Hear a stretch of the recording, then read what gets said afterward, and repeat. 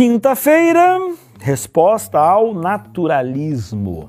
Bom, vocês se lembram que na lição de, vamos ver, voltar aqui, ó, na lição de domingo estava dizendo o seguinte: os saduceus, eles não acreditavam na ressurreição por algumas razões. Vamos lá? A primeira razão, porque é, era contrária à observação científica. Eles falavam assim, olha, eu nunca vi alguém sendo ressuscitado, então se eu nunca vi, então significa dizer de que não vai ter.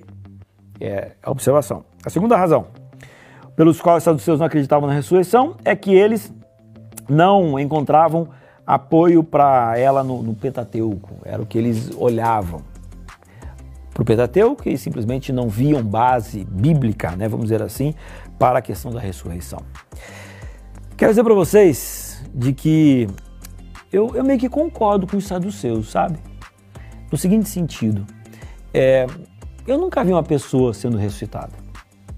Então, se eu partir desse pressuposto, eu também não vou acreditar na ressurreição.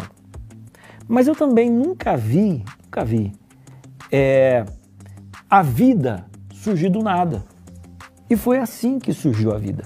Deus fez ali um boneco de barro, é, tava ali no chão, não tinha vida, e ele soprou nas narinas e, e deu vida. Então, se eu for colocar a minha fé tão somente naquilo que eu já vivenciei, naquilo que eu já vi, vai ficar muito complicado.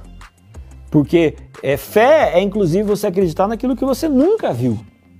Então, não fique tentando encontrar no mundo real, no mundo natural, em algumas questões, base para você é, acreditar. Nem sempre vai dar certo.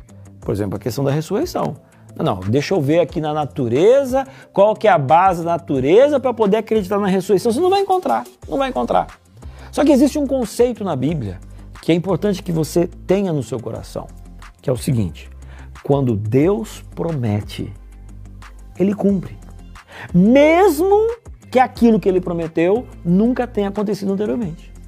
Quando Ele chegou para Noé e falou assim: Noé, vai chover. Quantas vezes tinha chovido? Não tinha chovido. Mas quando Deus promete, Deus cumpre. Passou um tempo, choveu. Quantas vezes ele já veio sobre essa terra com poder, grande glória, ele com os anjos? Quantas vezes isso aconteceu? Não, nunca aconteceu. Mas ele falou: virei outra vez. Então ele vai voltar. Quantas vezes todos os justos já foram ressuscitados e agora perfeitos? Quantas vezes isso aconteceu? Nenhuma vez. Mas ele disse que vai fazer. Então ele vai fazer.